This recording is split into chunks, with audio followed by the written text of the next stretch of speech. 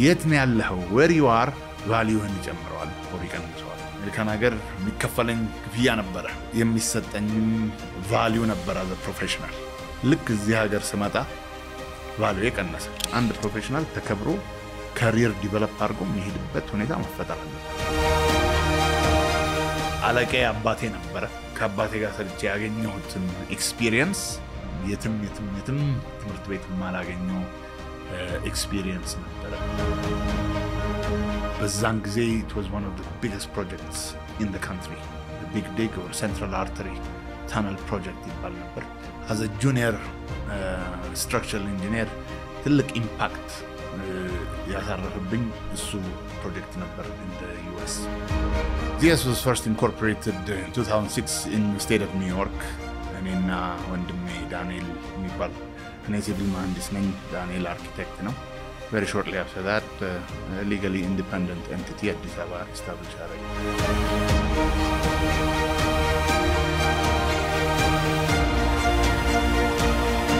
ZIAS Design International የመሐመዲያ Village ን design እንደ ዋና አማካሪ ሆኖ እየሰራ ያለ ድርጅት ነው።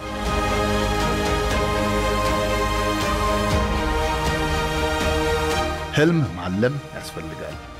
dreams will only come true if they're dreamt።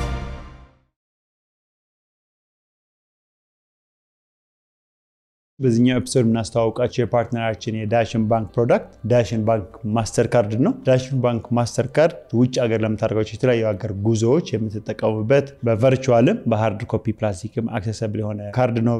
የተለያዩ የውጭ ሀገር currency ዎች ዶላር ይሁን ዩሮ፣ ፓውንድ እነዚህን ሁሉ accommodate ያደርጋል። ውጭ ሄዳችሁ የተለያዩ የምትጠቀምባቸው ATM ተጠቅማችሁ ብርን disburse ማድረግ ትችላላችሁ። በተጨማሪ ደግሞ የምታደርጓቸው ኦንላይን ግብይቶችን የዳሽን ባንክ MasterCard በመጠቀም የ e-commerce ግብይቶችን ማድረግ ትችላላችሁ። ስለዚህኛው product ለመጠቀም እና ለማዘዝ በቅርቢያችሁ ያለውን የዳሽን ባንክ ቅርንጫፎችን ትጎበኙ እንጋብዛለን። እናመሰግናለን።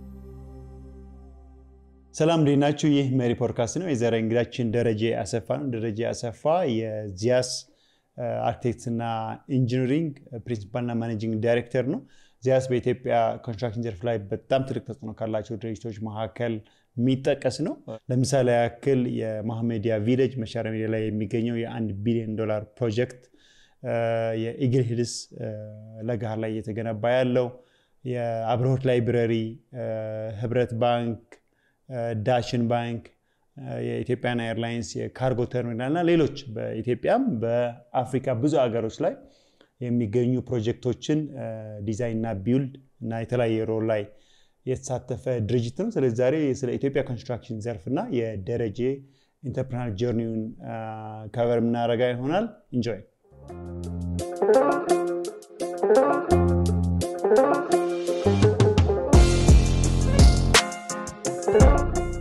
ደረጀ እንኳን ስለመጣ እንኳን በሰላም ቆያችሁ። እኔም ስለመጣህ በጣም ደስ ብሎኛል እና ስለዚህ ሴክተር ለመማር ከሀ እስከ ፐ ዛሬ ተዘጋጅተናል። ከዛ በፊት ስለ story ብንሰማ ደስ ይለኛል። ደረጀ ማን ነው የሚለውን። ደረጀ ማን ነው? okay እኔ እንግዲህ ያው ተወልጄ ያደግኩት አዲስ አበባ ነው። አራተኛ ክፍል ጀምሮ Sandford English Community School ነበርኩ የተማርኩት እስከምንጨርስ ድረስ። ከዛ በፊት የተለያየ ትምህርት ቤት ግሪክ ትምህርት ቤትም ተምሬያለሁ። አሳ የሚባልም ተምረናል።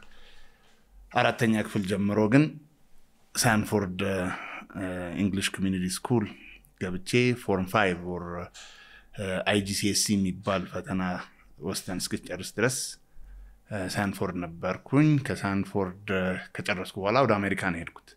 IGCSE ን አስራ አንደኛ ክፍል ነው የምንወስድ የነበረው ያኔ። አሜሪካን ሀገር high school ነው የገባሁት። የአሜሪካን ሀገር Lancaster Mennonite High School የሚባል LMH ፔንስልቬኒያ እዛ 1990 ላይ join አድርጌ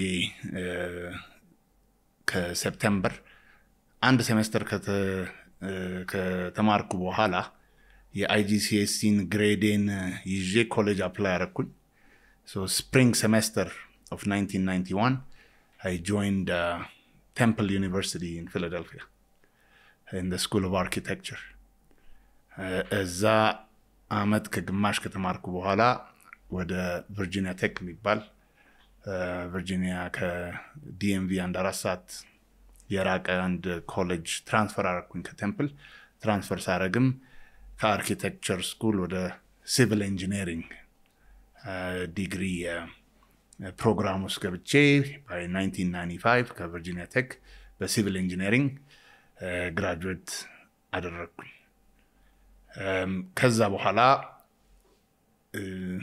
join ያደረኩበት company TAMS Consultants ይባል ነበረ። headquarters New York City ግን with office in Northern Virginia አርሊንግተን የሚባለው ቦታ አዝ ቦስተን ማሳቹሴትስ። እና company ልክ join አድርጌ June ላይ two weeks ከሰራው በኋላ in Arlington office ቦስተን ትልቅ ስራ አግኝተው on loan ወደ ቦስተን ቢሮቸው ላኩኝ። እና እዛ ከሰኞ እስከ አርብ ቦስተን ከአርብ እስከ እሁድ ወደ home base ቨርጂኒያ የተመላለስኩ ለስድስት ወር ቆየሁ። እዛ በኋላ የቦስተን office ኡ on permanent basis ቦስተን ይምጣልን ብሎ ጠይቆ ወደ ቦስተን transfer አረግኩኝ ማለት ነው። ቦስተን ወደ እስከ አምስት ዓመት ኖርኩኝ እየሰራው። ከዛ በኋላ graduate school ሄድኩና ልክ graduate school ስጨርስ እዚህ የአባቴን የ architectural engineering practice join ለማድረግ ወደ አገር ቤት መጣሁ። year 2000 ይኸው 24 ዓመት በኋላ አለሁ እዚህ። through different life experiences የሁለት ልጆች አባት ነኝ ባለትዳር ነኝ። የ50 ዓመት ጎረምሳ ነኝ። በጣም ደስ ይላል ደረጀ ከ24 ዓመት በኋላ አሁን ያው ከአባት ቢዝነስም ስራም ወጥቶ ዚያስን መስርቷል እና ዚያስ አሁን ያለበት ኦፕሬሽን ምን ይመስላል? የ business type ኦቹን ፕሮጀክቶቹን ምን ይመስላል? So Zias, Zias was first incorporated in 2006 in New York's uh, state. እኔና ወንድሜ ዳንኤል የሚባል እኔ ሲቪል መሀንዲስ ነኝ፣ ዳንኤል አርኪቴክት ነው። በሁለታችን ownership አማካኝነት ኒውዮርክ established ሆኖ very shortly after that legally independent entity አዲስ አበባ establish አደረግን uh, uh, come a, a very long way uh, with uh, the type of projects that we do and the size of projects that we handle.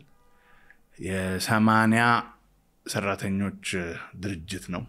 ከተቋቋመ ጀምሮ አነስ ያሉ ፕሮጀክቶች እስከ ትልቅ ፕሮጀክቶች ማኔጅ የሚያደርግ ድርጅት ነው። የእኛ ፕሮጀክቶች እንግዲህ አሁን በቅርብ እነ መሐመዲያ village አንድ ቢሊዮን ዶላር በላይ የሚያወጡ ፕሮጀክቶችን እንደ lead እና ዋና አማካሪ ሆኖ ይሰራል። design ኑን፣ construction supervision ኑን የሚሰራ ድርጅት ነው በአሁኑ ጊዜ። እነ ለገሃር ደግሞ የአቡዳቢ ኢግል ሂልስ እሱንም የሚሰራው ትልቅ እዚህ ጋር ያለውን development በ infrastructure ዙሪያ በ master plan ዙሪያ ዋና አማካሪ እና የተወሰኑ ህንፃዎችንም ዋና አማካሪ ይዞ እነሱንም በብዙ ሚሊዮን ዶላሮች የሚቆጠር ፕሮጀክት እንደ ኃላፊነት ዋና ኃላፊ ሆኖ ይዟል። በቅርብ ደግሞ እኛም ሀገር በአብርሆት library design build የሚባል ፕሮጀክት ከቫርኔሮ ጋር ሆነን እኛ እንደ lead designers ሆነን successful የጨረስናቸው ፕሮጀክቶች ናቸው። የሰማንያ ሁለት strong ጠንካራ ኢትዮጵያኖች ያዘለ አንጋፋ ድርጅት ነው ብዬ መናገር እችላለሁ። ሌላም ሀገር ትሰራላችሁ አይደል? ሌላም ሀገር እንሰራለን። ዚያስ አሜሪካን ሀገርም incorporated ነው፣ ኢትዮጵያም incorporated ነው። በቅርብ ደግሞ Europe እና UAE ም incorporation pursue እያደረግን ነው። ግን በአሜሪካን ድርጅታችን በኩል የአሜሪካን መንግስት ብዙ ፕሮጀክቶች አሉን። የአሜሪካን መንግስት በየቦታው ይወስደናል። አሁን West Africa፣ ላይቤሪያ፣ ካሜሩን፣ ሴኔጋል እንሰራለን። ከዚህ በፊት ሞዛምቢክ፣ ሌሶቶ ሰርተናል። ወደ ዩክሬንም የተወሰነ ስራ እዛም ሰርተናል። እሺ ምን አይነት አገልግሎቶች ነው የምትሰጡት? አርኪቴክቸር እኛ ከባለቤቱ or ከ developer ሩ እንደ ዋና ሁሉንም one stop shop from design ከ design አንጻር one stop shop ሆነን የሁሉንም ሴክተር የሁሉንም discipline lead ሆነን እንሰራለን። እኛ ዚያስ ውስጥ ያሉትን expertise በዚያስ እናሰራለን። ዚያስ ውስጥ የሌሉትን expertise ደግሞ sub consultant አድርገን እንሰራለን። ዚያስ ውስጥ ያለ expertise architecture፣ structural engineering፣ civil engineering፣ quantity surveying፣ contract administration፣ construction supervision በሙሉ ዝዳን በዚያስ ውስጥ ባሉ expertise ናቸው።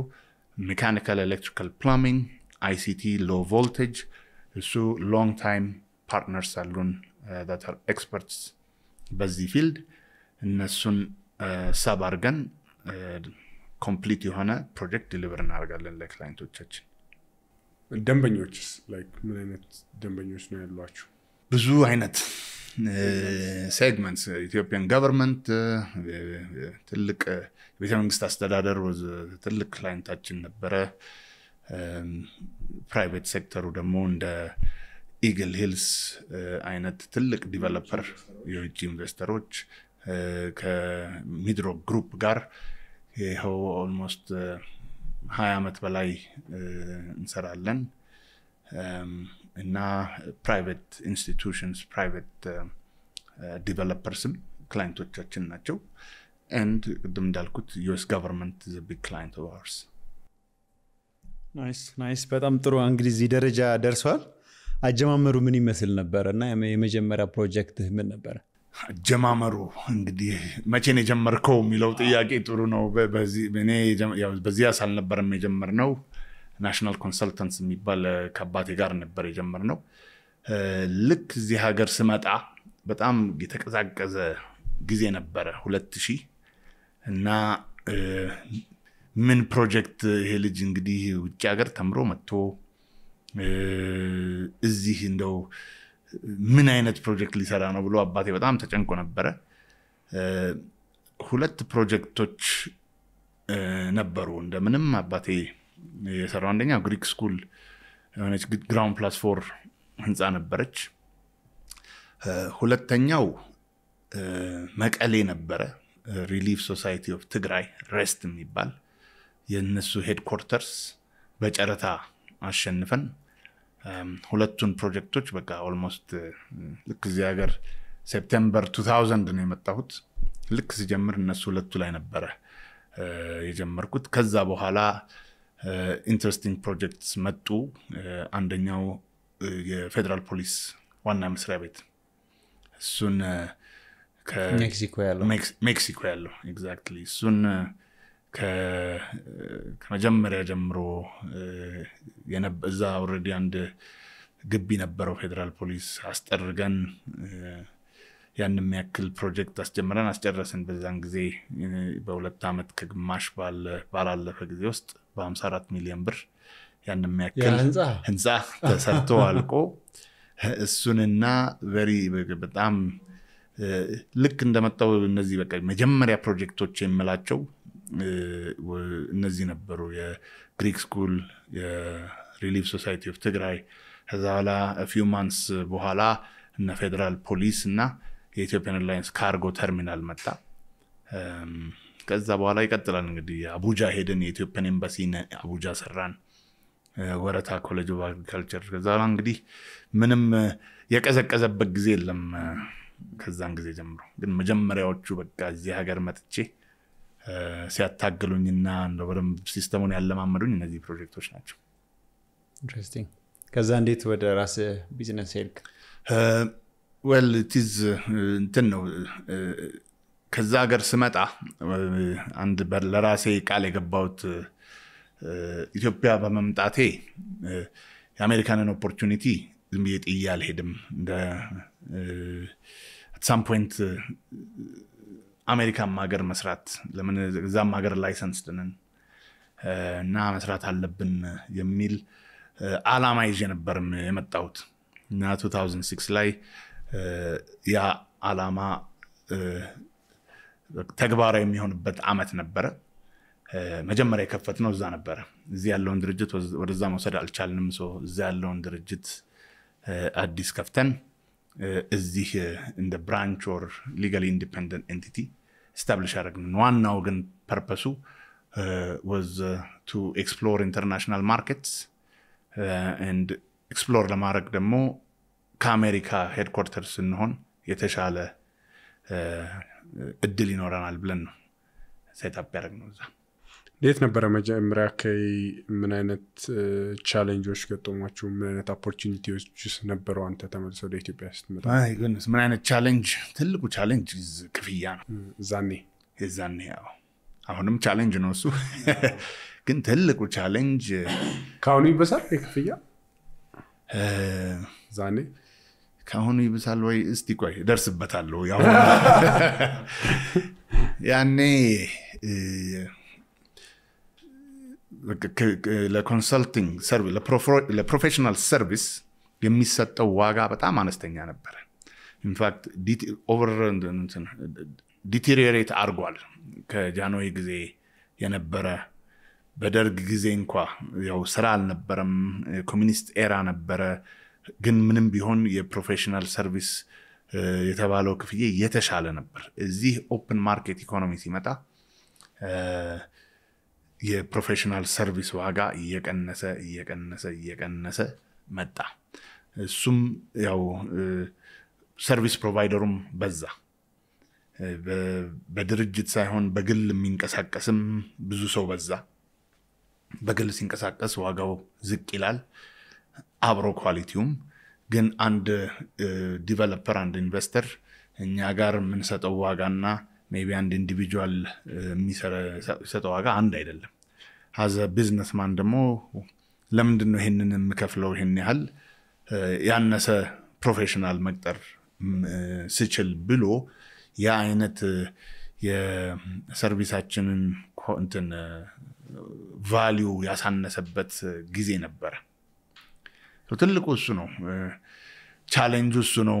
ይህን challenge እንዴት ነው የምወጣው ብዬ ብዙ ግራ ያገባኝ ጊዜ ነበረ እና ተወጣነው። በእድልም ተስፋ ሳንቆርጥ ደግሞ እዛው ሴክተር ውስጥ ቀርተን አንዳንድ interesting client ኦች አግኝተን ያንን challenge ተወጥተን ይኸው አሁን ያለንበት ደረጃ ላይ ደርሰናል። interesting። የመጀመሪያ check ታስታውሰዋለህ? እንዴት እንደነበረ ክፍያ? ደሞዜ እኔ ሶስት ሺህ ብር ነበረ። በወር ሶስት ሺህ ብር ነበር። እኔ እንዴት አድርጎ እንደሚብቃቃም ይገርመኛል። አሁን ግን እንደምንም ማብቃቃ። እርግጥ ቤተሰብ ጋር ነበር የምኖረው። የድርጅት መኪና ይሰጠኝ ነበር። አብዛኛው የ expense ኦች ተችለውልኛል። ግን በሶስት ሺህ ብር ደሞዝ ያው የግል ህይወቴን ኖሬ ምን ብዬ እንዴት እንደተብቃቃ እግዚአብሔር ያውቀዋል። ተብቃቅቶ ነበር። ብቻ እሱ ትልቅ challenge ነበረ እዚህ ሀገር። በቃ እንዴት ነው ደሞዝ even በድርጅት ደረጃ ደሞዝ የሰራተኞች ደሞዝ ራሱ አብቃቅቶ ክፍያዎች ሰብስበን በየወሩ ለመክፈል የነበረው ችግር በዛችም ጊዜ አነስ ባለ የደሞዝ የ payroll amount በነበረበት ጊዜ payroll መክፈል ትልቅ ትልቅ challenge ነው። every month እሱ ነው። እንዴት ነው እስከ መቼ ድረስ ነው ከእጅ ወደ አፍ የሚኖረው እንደዚህ ብለን ትልቅ challenge እሱ ነበር። እግዚአብሔር ሲረዳን አንድ ቀንም የደሞዝ አዘግይተንም አናቅም። በጊዜው እንከፍላለን። በቂ እንከፍላለን ነው ያን አይደለም ወይ? እሱ ሌላ ጥያቄ እንደሆነ እንዳለ ይሆንና ግን ክፍያ ከፍለን ይኸው employees ብዙ አፍርተናል። ቃለ መጠይቁ ይቀጥላል። የ partner ኣችን ኢትዮ ቴሌኮም ማስታወቂያ ሰምተን እንመለሳለን። በውጭ ለሚኖሩ ወገኖች አገር ቤት ላለ ወዳጅ ዘመድ ገንዘብ በነፃ የሚልኩበት ፈጣኑ መተግበሪያ ቴሌብር ሬሚት። ነዋሪነቱ የት ነው? አሜሪካ፣ ካናዳ፣ እስራኤል፣ ሳውዲ አረቢያ አሊያም ደግሞ ዩናይትድ አረብ ኤምሬትስ፣ ዩናይትድ ኪንግደም፣ ደቡብ አፍሪካ፣ ጣሊያን ወይም ስዊድን። እርስዎ ብቻ የቴሌብር ሬሚት መተግበሪያን በእጅ ስልኮ ላይ በመጫን ሀገር ቤት ላለ ወዳጅ ዘመድ ገንዘብ ሲልኩ ገንዘቡ በተላከበት ቅጽበት በዕለቱ የአቢሲኒያ ባንክ ምንዛሬ በተቀባዩ እጅ ይደርሳል። ቴሌብር ሬሚት። ቴሌብር ፈጣን፣ ቀላል፣ ምቹና አስተማማኝ። ኢትዮ ቴሌኮም እንዴት ነበረ scale ማድረግ ደግሞ ከዛ ከነበረበት small size company scale አሁን ወዳለው የሰራተኛ ብዛት ደርሳችኋል። ብዙ ፕሮጀክትም ሰርታችኋል። እንዴት ነበረ ጉዞ? gradual ነው ግን happen ያደረጉ ክስተቶች አሉ እኛን ከነበርንበት trajectory ከፍ እንድንል ያደረገን እሱም ልክ ፌዴራል ፖሊስን በምንጨርስበት ወቅት ያኔ የኮንስትራክሽን ጨረታውን አሸንፎ ኮንስትራክሽን ስራ የነበረው ሚድሮክ ኮንስትራክሽን ነበረ። እና ሚድሮክ ኮንስትራክሽን ልክ ወደ መጨረሻው አካባቢ የሚድሮክ ኮንስትራክሽን ባለቤት የነበሩት የሼክ መሐመድ አላሙዲ ሊጎበኙ መጡ። እና ዲዛይኑን በጣም ይወዱት ነበረ። እና እሳቸው ሲጎበኙ እኛም ተጠራን። እኛ ሄድን እኔና አባት የነበረን ያኔ። በህይወት በነበረበት ጊዜ አብረን ሄደን እኔ ወጣት ነበርኩ በላንታ አስረዳ ተባልኩኝ። ሼክ መሐመድን አስረዷቸው።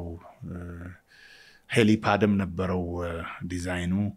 እያንዳንዱን የዲዛይን aspect ቆንጆ assembly hall dome assembly hall ነበረው multipurpose hall ነበረው። ሁሉንም አሳይተን ሼክ መሐመድን በርቱ ብለውን ከዛ በኋላ እስቲ እዛ እኮ ቦታ አለኝ ለምን ዲዛይን ፕሮፖዛል አትሰጡንም? ብለው ከሼክ መሐመድ ጋር በእንደዛ አይነት አጋጣሚ ተገናኘን። ያኔ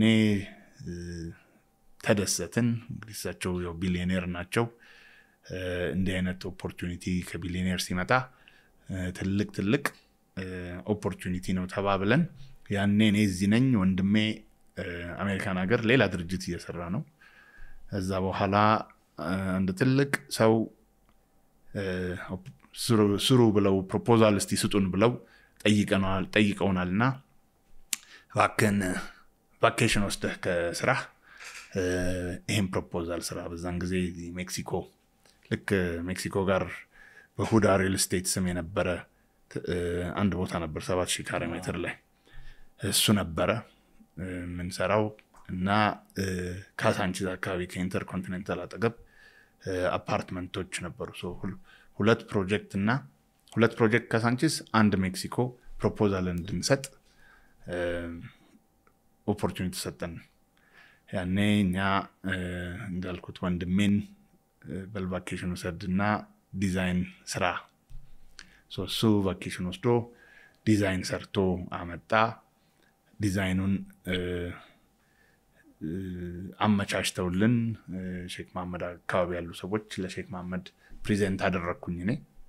እና ሼክ መሐመድ presentation ኣችንን ወደዱት። እና ወዲያው ወደ detail design ይሰራ ብለው instruction ሰጡ እዛው በነበርንበት ወቅት እና ያንን detail design የምንሰራበት ፕሮፖዛል submit አደረግን። ያ ፕሮፖዛል ተቀባይነት አገኘ በሼክ መሐመድ። ከዛ በኋላ ነገሮች በጣም ተቀያየሩ። የሼክ መሐመድ ደግሞ በተለየ መልኩ እኛን እንድንቀየር ያደረገን ፕሮፖዛል ሰጠን። amount ኡ is not important ያንን amount ለመከፈል advance ስጡን ብለን ጠየቅን። 30 percent advance ይሰጠን ያግዘናል ብለን ጠየቅን። ነገር ግን ያኔ advance ሲሰጥ ያው bank guarantee ምናምን ይባላል አሁንም ያኔም እኛ ብዙም አቅም ያለን አይደለንም። bank guarantee ማቅረብ አንችልም። እንደው ያለ bank guarantee ቢሰጠን 30 percent ኡ ብለን ጠየቅን። ሼክ መሐመድ ያለ advance guarantee 30 percent አይደለም። መቶ percent ኡን እዛው ሰጡን። ከዛ በኋላ ነገሮች እየተቀያየሩ መጡ። ዋና እንደው እኛ ጋር trajectory ኣችንን የቀየረው የሼክ መሐመድ engagement ነው ከኛ ጋር ምንም no doubt about። ከዛ በኋላ interesting jobs መጡ። simultaneously የ US government ስራዎች መጡ። ምን መጡ? እሱ single most impactful የሆነ ክስተት in our firm እሱ ነው።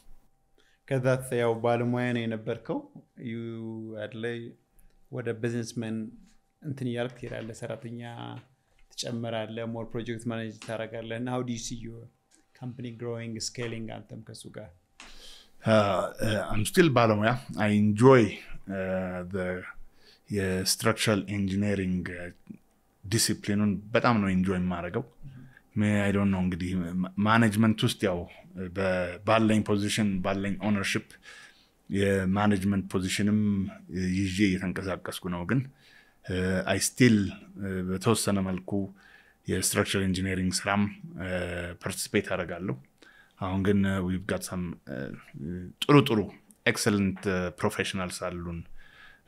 department head ሆነው department ኦቹን direct የሚያደርጉት። እና አሁን ሰማንያ ስንሆን እግዚአብሔር ካለን ደግሞ ከዚህም በላይ የምንሆነው ትንሽ delegate እያደረግን ስራ middle managers እየፈጠርን እኛ perhaps በ management ደረጃ የ client contact እና overall የድርጅቱ face እየሆንን የምንቀጥልበት ሁኔታ ነው። that's what managers CEOs ጥሩ team ከሌላቸው ድርጅቱ በ CEO አቅም ይወሰናል። እኛ በጣም እድለኞች ሆነን ጥሩ ጥሩ professional ኦች ብዙ ዓመት ከኛ ጋር የቆዩ አሉ እነዚህን expertise እየመሩ ያሉት? ኢንዱስትሪውስ ምን ይመስላል? like process ኡ አሁን አንድ ፕሮጀክት ጨረታውን ከመወዳደር ከመደራደር እስከ ስራውን መስራት እስከ መጨረስ ያለው ምን ይመስላል? ምን ይመስላል? ጥሩ ጥያቄ ነው። ጥሩ ጥያቄ ነው። አስቸጋሪ ነው። እኔ ጨረታ እንሳተፋለን። ግን እንደ ድሮ ድሮ እኮ ጋዜጣ ቁጭ ብለን እናይ ነበረ ምን ጨረታ ወጣ? ብለን የሚወጡትም ፕሮጀክቶች ትንሽ ነበሩ። ያሉትም ድርጅቶች እዛ ጋዜጣ ወጥተው አይተው እዛ ጨረታ ላይ ሙሉ በሙሉ ይሳተፋሉ። አሁን እንደዛ አይነት ሁኔታ ውስጥ የለንም እኛ። ብዙ repeat client ኦች አሉ እና እነሱ repeat client ኦች ወይ directly negotiate ከኛ ጋር አድርገው appoint ያደርጉናል. ወይም አጫርተው ካሸነፍን ጨረታውን ከነሱ ጋር እንሄዳለን. ካላሸነፍን ደግሞ ሌላ ሰው ይሄዳል። ስለዚህ more ነባር የነበሩትን ክላይንቶች support እና ከነሱ ስራ ጋር ነው የኛ ትልቁ የስራ ምንጭ. repeat clients እና ያኔ የሼክ መሐመድ ግንኙነታችን 2006 ላይ አሁንም ድረስ ቀጥሎ መሐመዲያን የሚያክል አንድ ቢሊዮን ዶላር በላይ ያለን ፕሮጀክት እንድንሰራ አድርጎናል። ያለን ፕሮጀክት ብዙ ነው። ሌላም ፕሮጀክት አሁን ባለንበት አቅም አስፈላጊም አይደለም። ግን በነ ሚድሮክ በኩል ከመጣ በኢግል ሂልስ ኢግል ሂልስም repeat client ኦች ናቸው። በእነሱ በኩል ከመጣ ግን እምቢ ማንል ነው። ሌላ ሲመጣ ግን busy ነን ትንሽ ታገሱን ብለን push የምናደርግበት ጊዜ ነው። ይህ እንግዲህ እድል ነው። የሚደርቅበትም ጊዜ ሊመጣ ይችላል። አሁን ያለንበት ሁኔታ ግን እድለኞች ሆነን ከዚህ በፊት ያሉን ደንበኞች ወደ development ገብተው የእኛን service appreciate አድርገው እንድንሰራ ስራ ይሰጡናል everywhere እዚህም አሜሪካን ሀገርም US government repeat client እነሱም ከ2006 ጀምሮ everywhere እንደ አጋጣሚ ሆኖ ይመጣል እንሰራለን satisfied ይሆናሉ። ሌላ ስራ ሲመጣ እንደገና ይጠሩናል። US government directly ም ብቻ ሳይሆን አሉ አሜሪካን ሀገር partners አሉን አብረውን የሚሰሩ እነሱም ሌላ ስራ ሲመጣ እየሰራን የስራ ችግር እስካሁን የለብንም። ራሳችንን organize አድርገን ያንን ስራ በተባለበት ጊዜ በተባለበት ጥራት deliver የማድረግ ነው ትልቁ challenge ኣችን። የስራ ማጣት አለ። አሁን በፊት በፊት ብዙ ትላልቅ ፕሮጀክቶች ጨረታ ይወጣሉ? አሁን ግን ያው ብዙ ያው የሰሩ ሰዎችን አይተው ተደራድረው ይሰጣል ብዙ ስራዎች እና ምንድነው ጥቅምና ጉዳቱ የሁለቱ የአሰራር አካሄድ ላይ ማለት ነው? በተለይ ትላልቅ ፕሮጀክቶች ላይ ሲሆን ማለት ነው። ጥሩ ጥያቄ ነው። ጨረታ has double edge sword አደለ? competitive የሆነ ነገር እናገኛለን የሚባልበት ሁኔታ አለ። ደግሞ at same time ጨረታ አውጥተህ ደግሞ best service ም ላታገኝ ይችላል። እሱን ሁለቱን ማጣጣም መቻል አለብህ። ግን ጨረታ የማይቀርለት የስራ ሂደት ነው። አንድን ሰው ለአንድ ሰው ስራ ትሰጥ። በተለይም በእኛ ሴክተር በተለይም በ architecture ደግሞ architecture አሁን ጨረታ ስንል እሱንም I think define ማድረግ ይኖርብናል። ምንድን ነው ጨረታ? እኔ በ architecture architecture creativity ጨረታው creativity ላይ ነው መሆን ያለበት፣ ገንዘቡ ላይ መሆን የለበትም እና creativity ውን ማጫረት መጨረሻ ላይ የተሻለ ውጤት ያስገኛል። design competition የምንላቸው ናቸው። እንግዲህ I directly ለማቀው ሰው አንዳንዴ መስጠት ሌላ ነገር ሌላ creative approach creative የሆነ ዲዛይን ላይገኝ ይችላል። it's double edge sword አንዳንዴ ይጠቅማል፣ አንዳንዴ አይጠቅምም። የጨረታ process ኡ challenging ነው።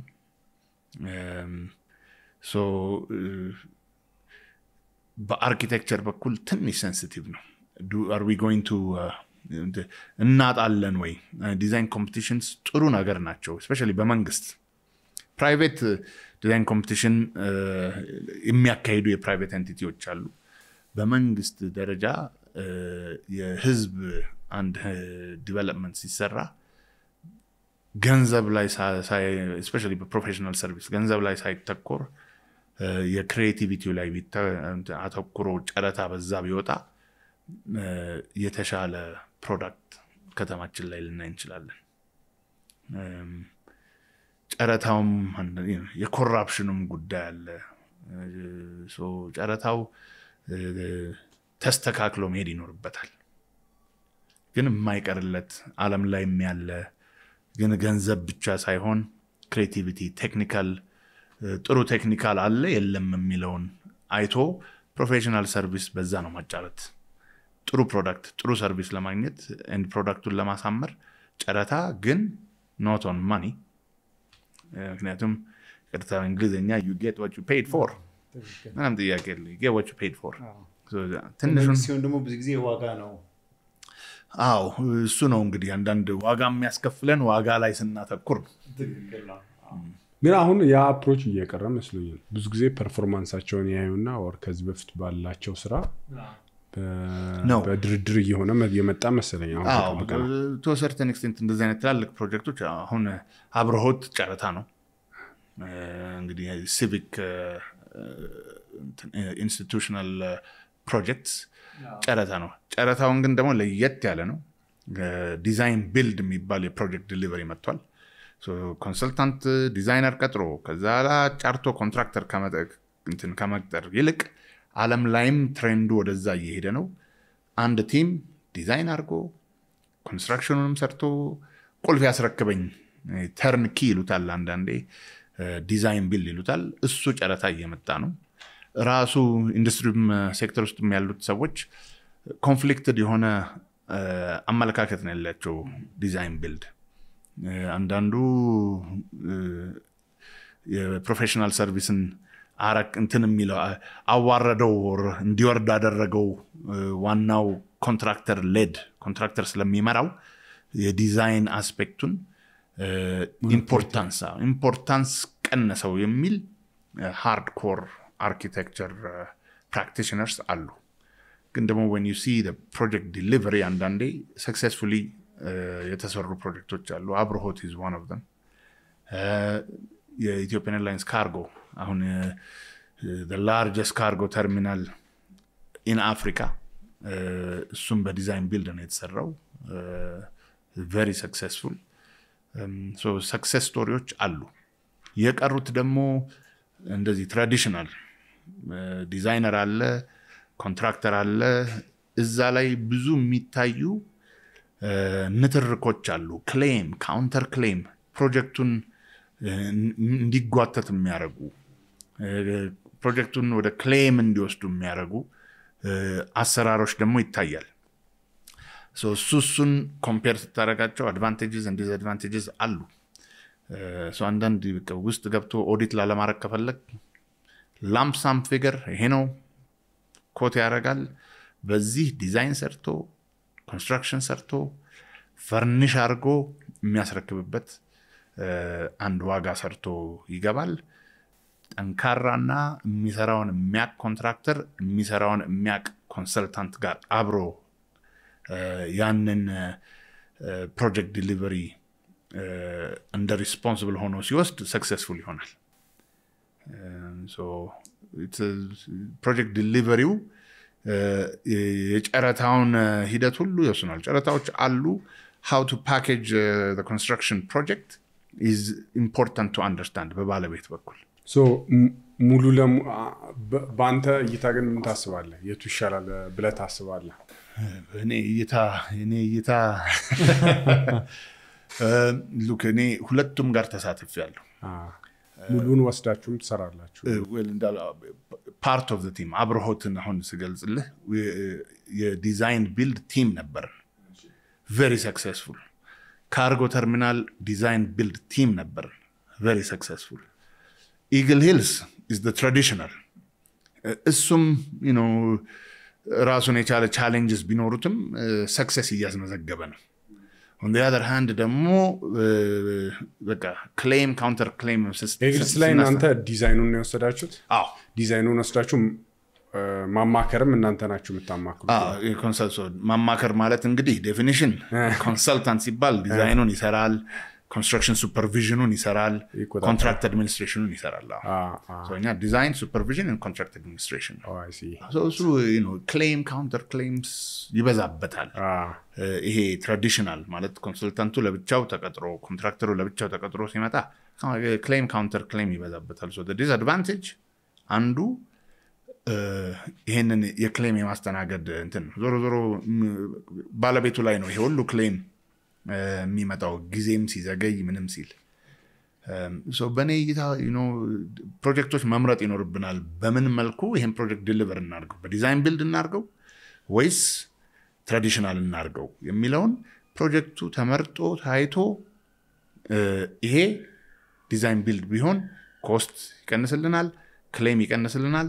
በ time ኡ ከፈለግን አንድ ላይ እናርግና contractor ና designer ኡን አብረው ይጨርሱ የሚል decision ላይ ይደርሳል። ግን ፕሮጀክት በፕሮጀክት ይለያያል። ዞሮ ዞሮ ቅድሙኑ እንትኑ ነው የሚቀጥረው አይደል? ዲዛይነሩንም አሁን ለምሳሌ contractor ኡ ሊቀጥረው ይችላል። Design ን build ኡንም ወስደው የግድ design team ከሌለው ማለት ነው። ብዙ ጊዜ እንደውም እንደዛ ነው የሚሆነው። Contractor ኡ contractor ኡ ትልቅ lion share ኡን የሚወስደው የ contractor ኡ ስለሆነ Contractor ኡ lead ይሆንና ይወስዳል ፕሮጀክቱ።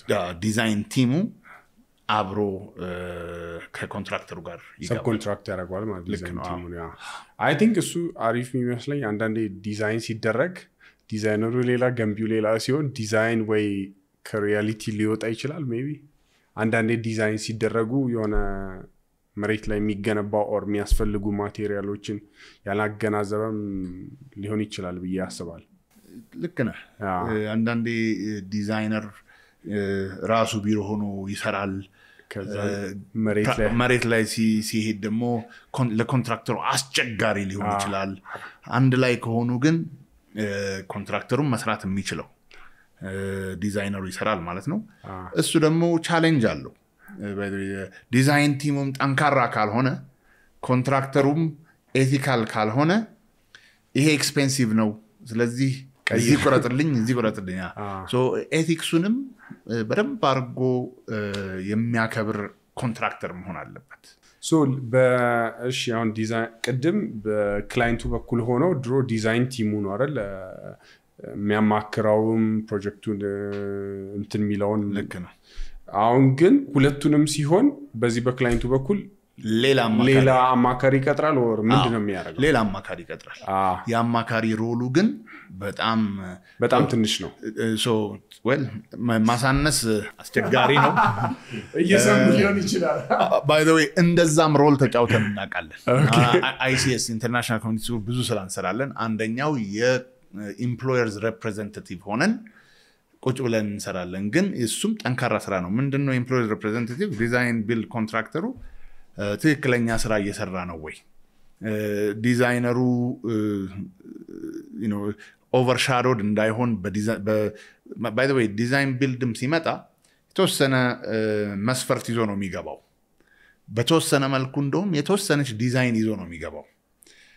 አሁን Example የአብረሆት ነው። አብረሆትን as a design build ስንወስድ የተወሰነ አንድ ዲዛይን ነበረ የተሰራ። እሱ እንደ start point ይዘን በዛ መሰረት ነው detail design የሰራ ነው ሰው አሁን አብረሆትን ስንሰራ ሌላ ድርጅት ነበር ባለቤቱን እያማከረ ያለ። እኛም ዲዛይኑን ስንሰራ የእኛን design check ያደርጋል on behalf of client አለ third party ም አለ። ግን contractor ኡ ብዙ ጊዜ variation የሚባል ነገር አለ በ construction አለ እቺ detail አልነበረችም። እቺ quantity ተሳስታለች እዚህ ጋር ስህተት አለ ብሎ variation አያጋጥምም። ለምን? Quantity ውንም design ኡም response ሆኖ የሚሰራው ስራ ተቋራጩ contractor ኡ ስለሆነ። ስለዚህ ትልቅ የ headache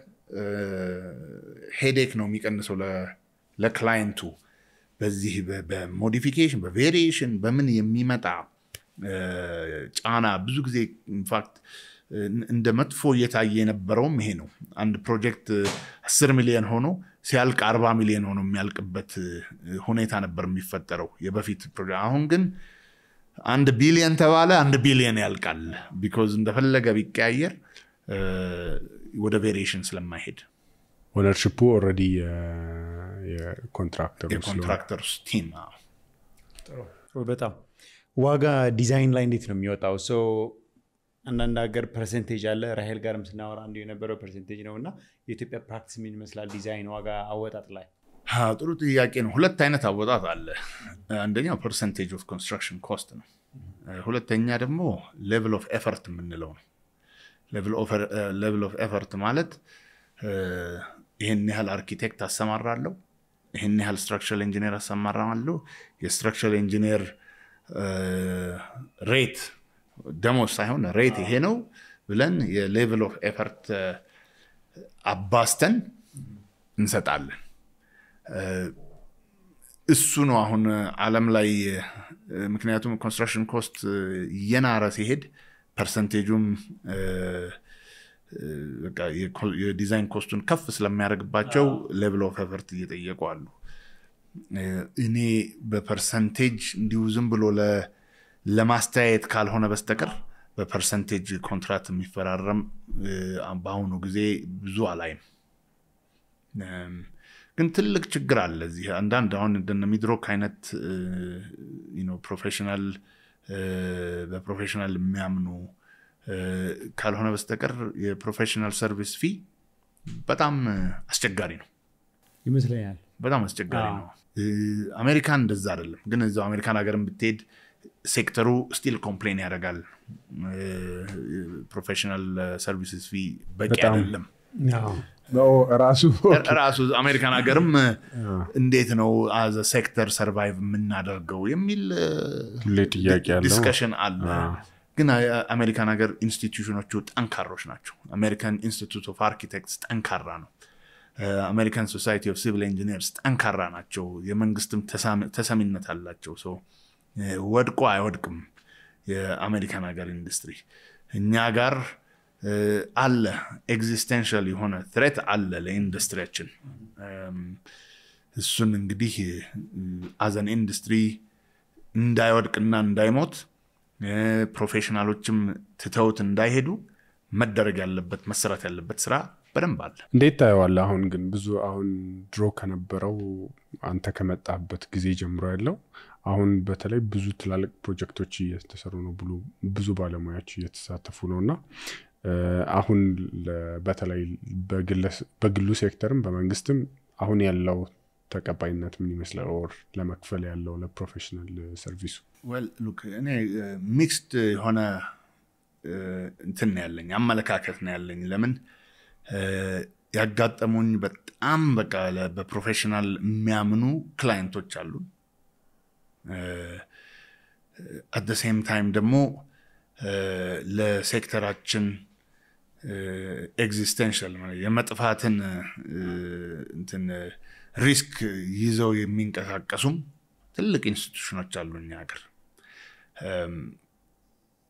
ግን ጥሩዎቹ መጥፎቹን hopefully ያሸንፏቸዋል። አሁን ትልቅ challenge አለን እኛ እኔ ከአሜሪካን ሀገር ስመጣ ትልቁ challenge ኡ was እንግዲህ አሜሪካን ሀገር የሚከፈለኝ ክፍያ ነበረ። እዛ ሀገር በመስራቴ የሚሰጠኝም value ነበር as a professional ልክ እዚህ ሀገር ስመጣ value ቀነሰ። same even more complicated designs ሰርቼ እዚህ ያለ local developer እኔን ሊከፍለኝ ዝግጁ የሆነው ክፍያ አነስተኛ ነው። ከዛ ስመጣ የኔ value devalued ሆኛለሁ። እዚህ ምንድን ነው happen የሚያደርገው? እኔ እንግዲህ ያው አሸንፌዋለሁ ልበል 24 ዓመት still ቁጭ ብያለሁ እዚህ happen የሚያደርገው በጣም bright የሆኑ መሐንዲሶች bright የሆኑ አርኪቴክቶች እዚህ ሀገር ያለውን ሴክተር ትተው አይከፍልም ትተው ወይ ወደ ውጭ የመሮጥ የተሻለ value ለማግኘት ወደ ውጭ የመሮጥ አሁንም እንደውም brain drain የሚባለው እውነት ነው በሁሉ ሴክተር ነው brain drain። እሱ ነው እኛን ሊያጠፋን የሚችለው። እኛ ሀገር ያለንን value በደንብ አድርገን honor ማድረግ አለብን። respect ማድረግ አለብን። እንዳልኩ respect የሚያደርጉ በጣም ትላልቅ institution ኦች አሉ። ሌላ ጊዜ ደግሞ አበሾች አይችሉም ፈረንጅ እናምጣ ብለው የሚቸኩሉ አሉ። እነሱን ነው አስተካክሎ ያለንን ከነ ችግራችን ችግራችንን እያስተካከልን ሴክተራችንን የምንገነባበት የምናሳድግበት አሰራርና አመለካከት ያስፈልገናል። ካለበለዚያ brain drain ነው። value ደግሞ እዚህ value ነኝ ብሎ ማሰብ አለበት አንድ professional። አንድ ሁሌ አንድ ታሪክ አለ፣ አጭር ታሪክ እንዲች አንድ ቫዮሊኒስት ነበረ ቦስተን በጣም የታወቀ በቃ ሰው ተሰልፎ ነው እሱን ቫዮሊኒስት ለመስማት የሚከፍለው። ይሄ ቫዮሊኒስት ሳብዌይ ሜትሮ ውስጥ ገብቶ ይጫወታል። የሆነች የቫዮሊንን እንትን ቦርሳውን ከፍቶ በቃ ማንም ይጫወታል። አግዳሚ ኃላፊው ያልፋል። ምንም ዞር ብሎም consider ያደረገው የዛኑ ቀን ማታ tuxedo ለብሶ ሲሄድ አንድ ሺህ ዶላር እየከፈሉ same ቫዮሊን ለመጫወት ከፍለው እንትን የት ነው ያለኸው? where you are value ህን ይጨምረዋል or ይቀንሰዋል። ኢትዮጵያ subway ሳትሆን ለ professional ኦች ልክ symphony ሄዶ እንደምጫወት respected መሆን አለባቸው። ካልሆነ we'll lose professionals።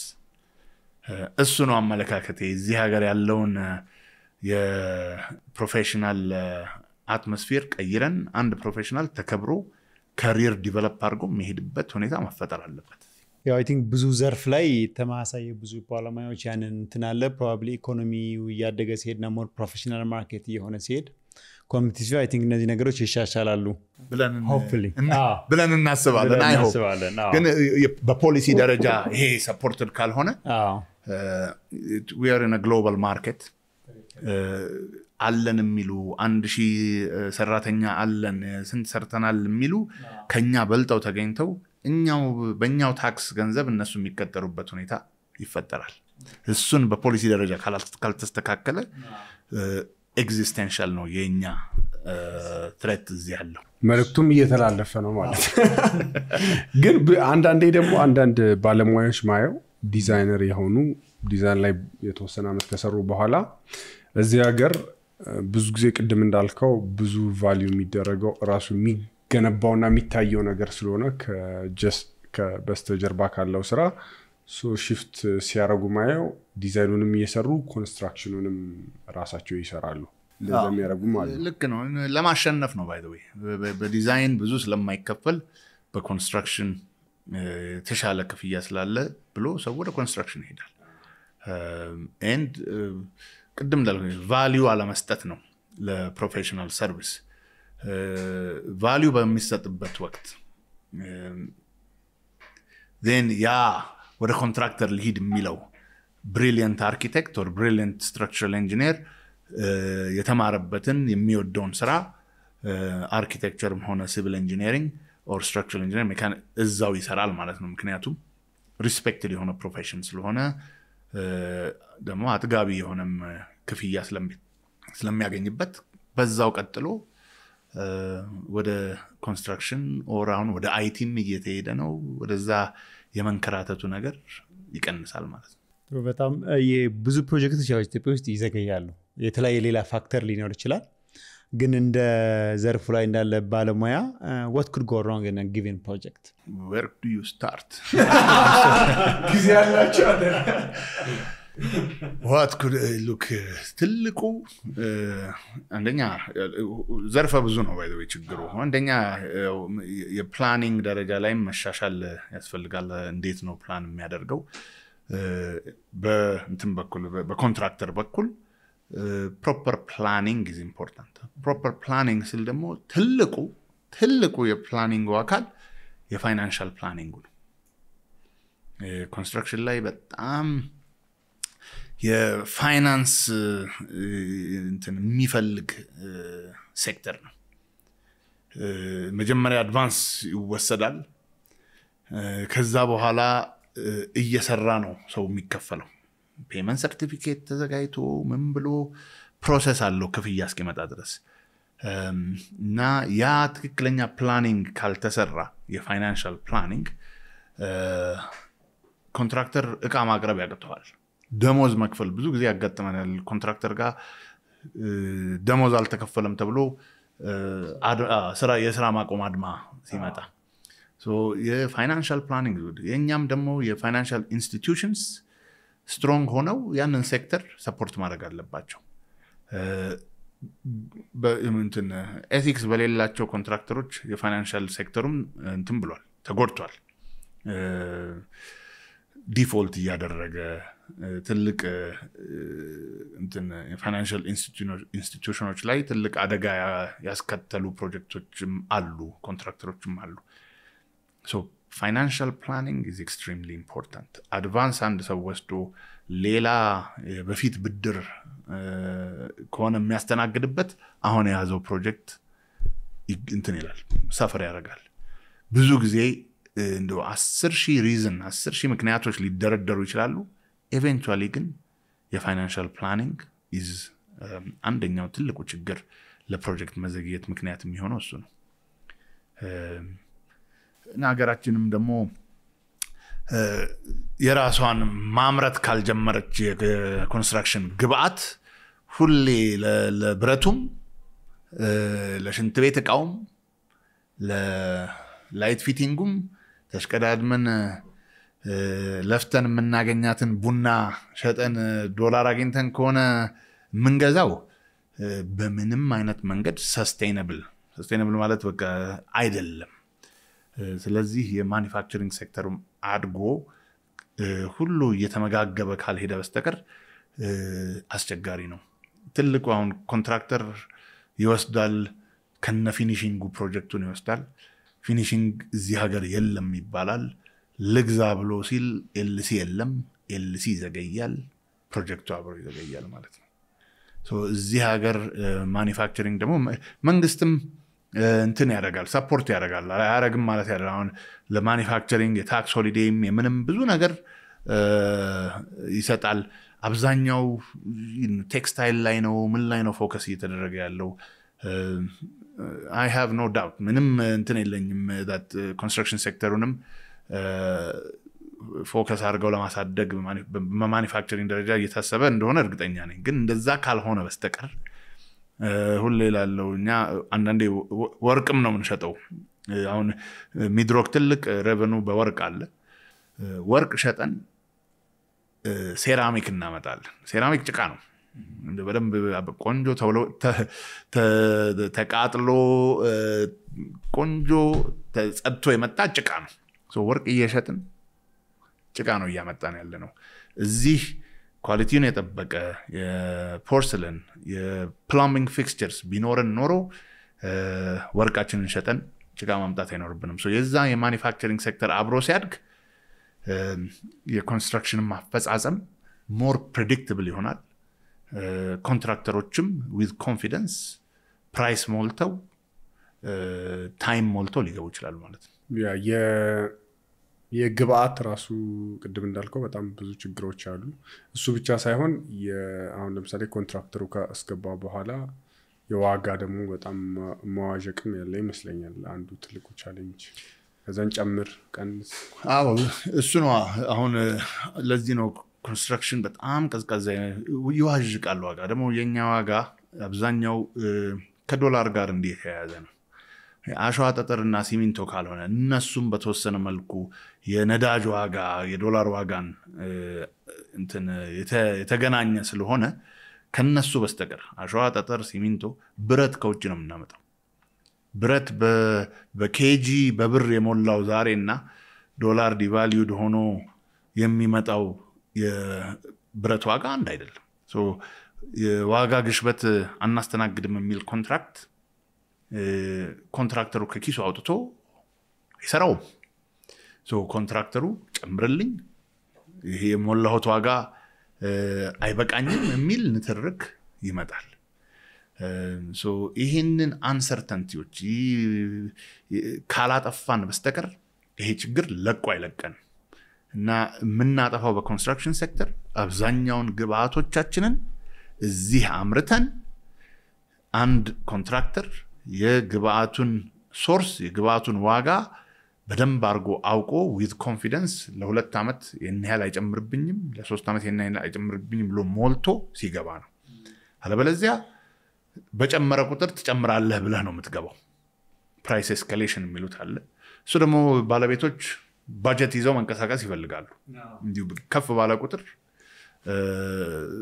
ሲጨምርባቸው እነሱም client ን መነጫነጭ ይጀምራል በጊዜ ገዝተህ ነው? ለምን በጊዜ አልገዛህም? አስጨመርክብኝ። ስለዚህ ለዚህ ሁሉ መፍትሄ ያው ጊዜ ይፈልጋል። ማኒፋክቸሪንግ ሴክተራችን ለኮንስትራክሽን ሴክተሩ በደንብ prepared ሆኖ ማኒፋክቸሪንግ መጀመር ይኖርበታል። በተወሰነ መልኩ ተጀምሯል ማለት ይቻላል። በቂ በፍጹም አይደለም። ሴራሚክም አሁን ዱከም መመረት ጀምረዋል quality ው ጥሩ አይደለም። I think አለ ሀሳቡ እሱን mature እንዲያደረግ አድርጎ ተግባራዊ አድርጎ seriously ችግር ነው ተብሎ ስራ ተሰርቶ እንትን ተግባራዊ ማድረግ አለብን የግብአቶችን consistency availability ውም በጣም ከባድ ነው። አንዳንድ እቃ ፈልገ ከዛም በኋላ በጣም limited ናቸው እቃዎቹ። በተለይ ትላልቅ ፕሮጀክት እንደናንተ ለሚሰራ ሰው አስቸጋሪ ይመስለኛል። locally ም የምትፈልጉትን እቃ ለማግኘት ግን አሁን ስታነሳ እንደም እያሰብኩት አሁን ይሄ የዶላሩ መጨመር ፕሮጀክቶች አሉና እንዴት አለፉ ይሄንን? እንዴት survive አረጉ? እንዴት ተስተናገዱ? ትላልቅ ፕሮጀክቶች እናንተ የያዛችሁት እንዴት ነበረ ለእናንተ? በተለይ ትልቅ መዝለል ሲኖር የዶላር rate።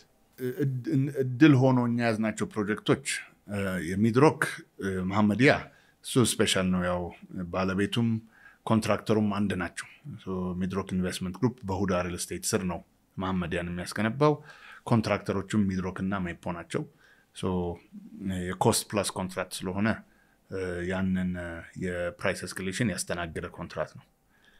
ሌሎቹም ኮንትራቶች ይህንን እኛ የያዝናቸው ይህንን የዶላር devaluation ያስተናገዱ ናቸው። በ price escalation ሆኖ በዶላር denominated contract ሆኖ pegged ሆኖ ከዶላር ጋር በዛ ምክንያት ሊጨርሱልን ይችላሉ። ማረጋግጥልህ finishing በጣም high quality የሆነ የ electrical fitting፣ የ plumbing fitting በ lump sum በብር ያለ ኮንትራት ወይ ኮንትራቱ amend እየተደረገ ነው ወይ ባለቤትና ኮንትራክተር እየተቧቀሱ ነው ያሉት። እኔ የምታየው practice ያለ በአንተ ዙሪያ ከምታውቃቸው ሰዎች አንጻር ለሌላ lesson ሊሆን የሚችል look lesson ም ሊሆን የሚችል እንግዲህ ለአንድ no one answer የለም። ቁጭ ብሎ ባለቤቱና ኮንትራክተሩ መነጋገር መቻል አለበት። ወይ okay as a team እንግባ፣ okay ኮንትራክተሩም እንዳይጎዳ፣ ባለቤቱም እንዳይጎዳ፣ ኮንትራክተሩም የማይገባው ጥቅም እንዳያገኝ ተብሎ በጣም as one integrated የሆነ team የሚገባበት ፕሮጀክት አለ። እሱ I think win win complicated የሆነ የ contracting mechanism ነው። cost plus የሚባል ነው። በቃ በወጣው ዋጋ ደንበኛ ደረሰኝ እየታየ cost plus fee ነው። ኮንትራክተሩ fee ያገኛል። cost ኡ ግን open book ሆኖ አሁን የዛሬ ብረት ዋጋ ይሄ ነው፣ ልግዛ፣ ግዛ፣ ያ ዋጋ ይከፈለዋል። ያ creates win win situation cost plus ነው። uncertainty ያለ ግን በ client ኡ በኩል ይሄ client ኡ ዋጋውን አያውቅም እስከ መጨረሻ ድረስ ካልሆነ በስተቀር። ሌላም አካሄድ አለ። cost plus GMP የሚባል አለ። guaranteed maximum price። አንድ maximum price ይሰጣል budgetary GMP cost plus GMP ይባላል። ከዛ በላይ የሆነው የተወሰነ risk ይወስዳል ኮንትራክተሩ። guaranteed maximum price እስከዛ ያለውን ግን cost plus fee እየወሰደ እንትን ያደርጋል። different የ contracting የ project delivery mechanism የ contracting mechanisms አሉ። ደግሞ እኛ ሀገር ብቻ የተፈጠሩ አይደለም፣ ዓለም የሚጠቀምባቸው develop ም የተደረጉት በእንዲህ አይነት ችግር ነው። risk ቀንሶ ፕሮጀክቱን deliver ለማረጋገጥ ማንም ሳይጎዳ ማንም ይሄ በማይገባ መልኩ ሳይጠቀም risk ኡን share አድርጎ እንሂድ ሲሉ ያወጡት የ contract delivery mechanisms ናቸው። እኛም ሀገር እሱን implemented ሆኖ win win situation ያስፈልጋል። ኮንትራክተር መክሰር የለበትም፣ ባለቤትም የማያስፈልግ ገንዘብ ማውጣት የለበትም። የዶላሩ ግን ዶላሩ ከመቀየሩ በፊት እኮ ሁለት ዓመት ነው ሶስት ዓመት በቃ ይጨምራል ይጨምራል ከአሁን አሁን እየተባለ ስለሆነ አብዛኛው የቢዝነስ ኮንትራቶች እሱን protect ያደረገ ነው። ሁሌ ያው ይጨምራል የሚል አዝማሚያ I think ሁለት ዓመት ቆየ መሰለኝ። በዚህ ሰኔ ይጨምራል በዚህ ይላል። ለዚህ ነው አሁን ይጨምራል ይጨምራል ይባላል፣ ግን parallel market ኡ already መቶ ምናምን ከገባ ቆይቷል። ስለዚህ everybody around table ሲነጋገር ይሄንን ሁሉ ያውቀዋል። ያውቀዋል። አሁን እኮ especially አሁን real estate ኦች ራሱ በ quote ሲያደርጉ የነበሩት በዶላር አብዛኛው። እንደውም ስለ real estate ልናወራ ነው በዛው ምን ታስባለህ ሀገራችን ስላለው የ real estate landscape አሁን ስላለው? አሁን ስላለው የሀገራችን የ real estate landscape is very interesting every building luxury luxury እየተባለ አስቸገረን. መለየት አቃተ luxury ለ luxury ሌላ definition መስጠት ይኖርብናል. የቤት ዋጋ የቤት እጥረት አለ። ምንም ጥያቄ የለው ስለዚህ እ፣ የ- እነዚህ የሚሰሩ ህንፃዎች እነዚህ የሚሰሩ ቤቶች ያንን የቤት እጥረት በሚገባ መልኩ decent ቤት እጥረት በሚገባ መልኩ ይቀርፉታል ብዬ ገምታለሁ። የ financing mechanism ኡ መስመር መያዝ አለበት። mortgage bank የለንም። interest rate ኡ በ15 እና በ16 percent የሚታሰብም አይደለም። ሁሉ ሰው ዲያስፖራውን target ያደርጋል። ዲያስፖራውም የተወሰነ በደንብ የሚሰራ አለ። አብዛኛው ችግረኛ ነው። ችግረኛ ማለት ያው ቀን ሌሊት እየሰራ ጥሩ ኑሮ ይኖራል። ግን አልፎ ተርፎ luxury ቪላ የሚያወጣ አቅም ያለው ሰፊ ህብረተሰብ የለም እንደ ዳያስፖራ። መሆን ያለበት ሴክተር ነው። እንደ ዋና ከተማ እንደ መሆኗ መጠን አዲስ አበባን specially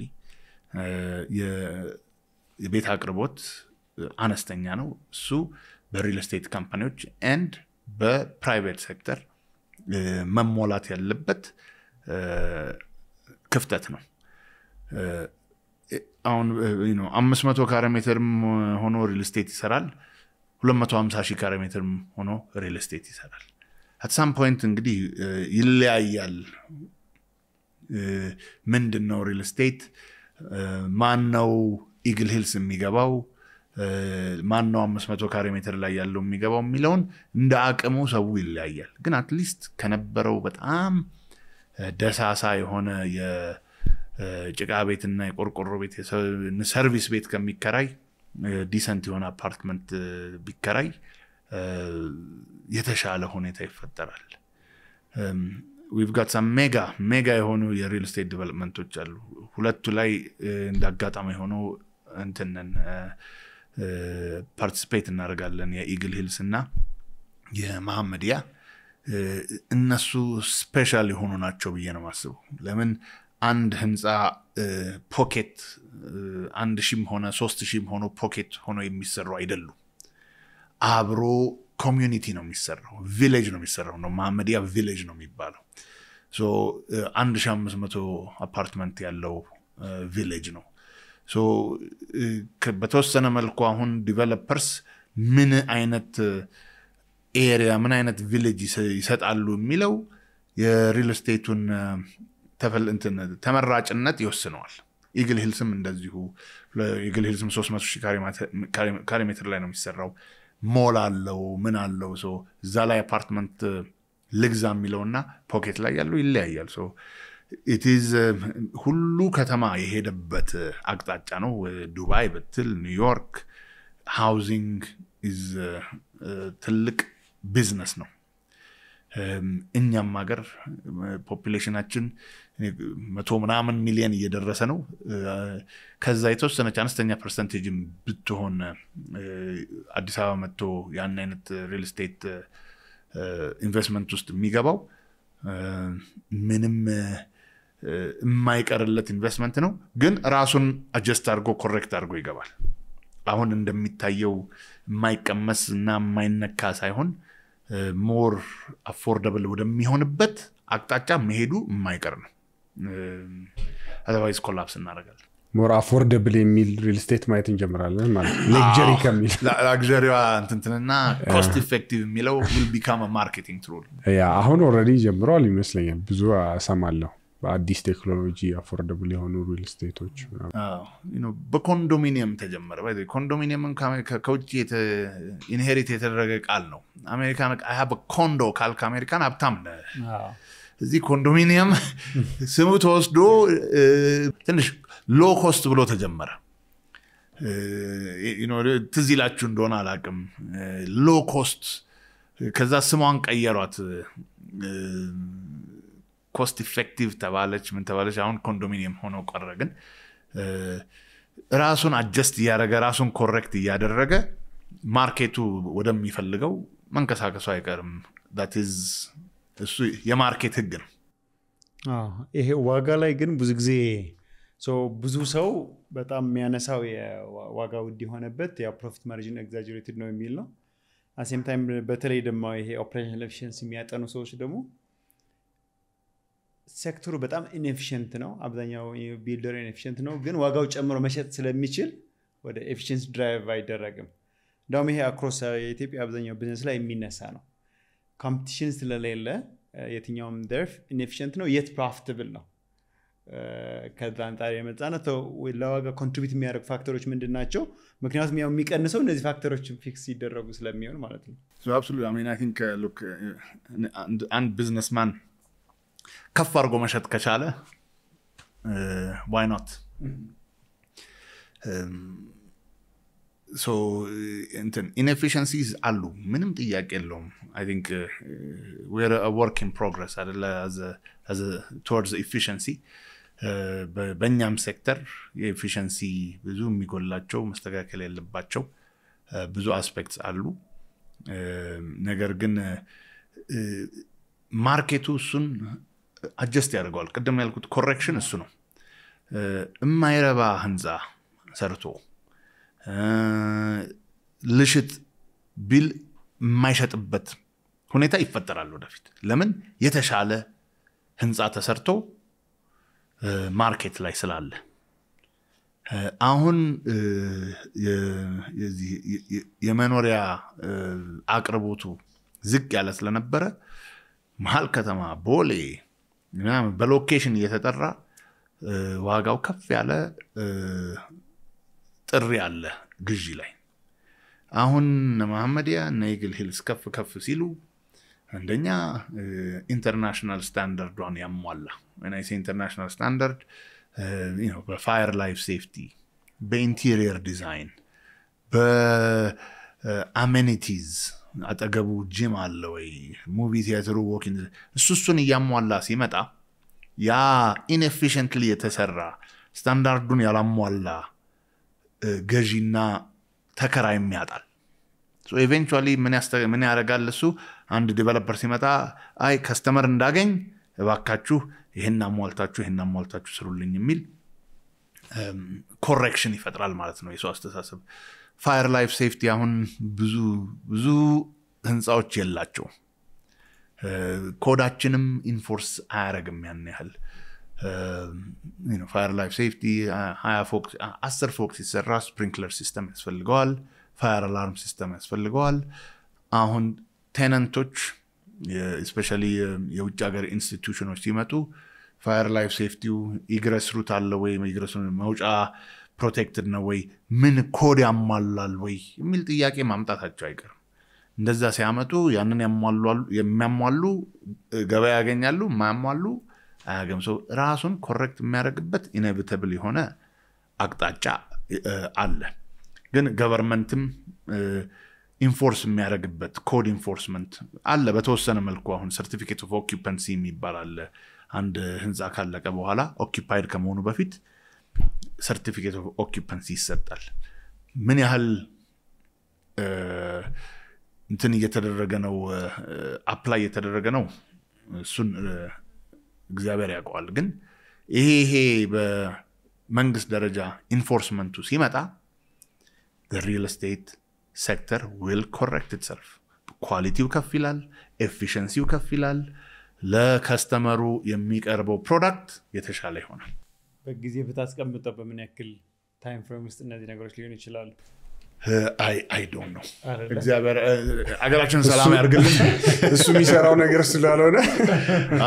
we don't know ግን ሀገራችን ሰላም ሆኖ የ economy activity ከፍ ሲል የህብረተሰቡም አቅም በሚገነባበት ጊዜ እሱን ተከትሎ ነው ይሄ መሻሻል የሚመጣው ጊዜ ይፈልጋል ማለት ነው። ልክ እንደ ሁሉ ነገር ወደ ዲዛይን እንመለስና እስቲ ከ concept ኡ ጀምሮ እስከ delivery ው ምን ይመስላል ዲዛይን ከ concept ኡ ጀምሮ እስከ delivery it's fascinating process ኡ fascinating እኔ አርኪቴክት አይደለሁም። ብቻ architecture firm ነው የምመራው።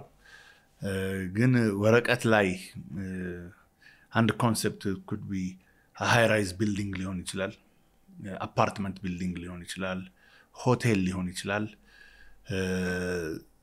እሱን ያሉትን አካባቢው ጋር ያለውን parameter ተጠቅሞ አይቶ ተጠቅሞ ማለት አይቶ እንደ constraint አይቶ መንገድ የቱ ጋር ነው ያለው በየት በኩል ገባለው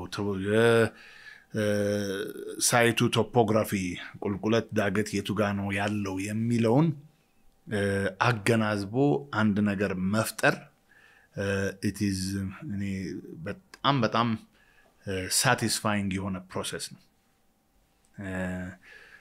ለዚህ ነው አርኪቴክቶች በደንብ መከበር ያለባቸው selection ላይ it's creative process architect ኦች civil engineer አራት ዓመት ነው አሜሪካን ሀገር architecture አምስት ዓመት ነው ፕሮግራሙ እዚህም ሀገር ተመሳሳይ ነው ብዬ ገምታለሁ የ creative process አለ እዚህ ሁለቱም አምስት ናቸው ሁለቱም አምስት ናቸው ግን architecture ኦች በጣም intensive ነው ትምህርታቸው። stressful disciplined ወጥቶም ስራ ላይ በጣም impressive performance አላቸው። ቆይ እዛ ጋር አንደርሰ ግድ no ግን የ creative aspect አለው። እኔ አባቴም አርኪቴክት ነበር ወንድሜም አርኪቴክት ነው። አብረን የምንሰራ አርኪቴክቶች ብዙ አሉ። creative part ከነሱ ጋር ይመጣል architecture መልክ ብቻ አይደለም። የውጭ building ኡ አመረ ብቻ አይደለም። ውስጥም ሲገባ የ functional flow ጥያቄ አለ። ያንን ሁሉ አገናዝቦ አንድን built environment ማለት አንድ እኛ ቁጭ ብለን የምንነጋገርበት environment create ማድረግ ትልቅ ትልቅ የ creative ውጤት ነው እና most satisfying process አንድን ነገር ወረቀት ላይ ስንሞነጫጭር ሲሞነጫጭር ቆይቶ finally ተገንብቶ ጥቅም ላይ ሲውል ያለው satisfaction በጣም በጣም ከፍ ያለ ነው. እኔ ግን as a civil engineer ደግሞ የማየው አርኪቴክቶች ያንን create ካረጉ በኋላ every discipline structure መጥቶ ያቆመዋል። ካልሆነ ይፈርሳል። የ plumbing engineer መጥቶ ውሃ በደንብ በጊዜው በ pressure ኡ እንድናገኝ በደንብ drain እንዲያደርግልን ያደርጋል።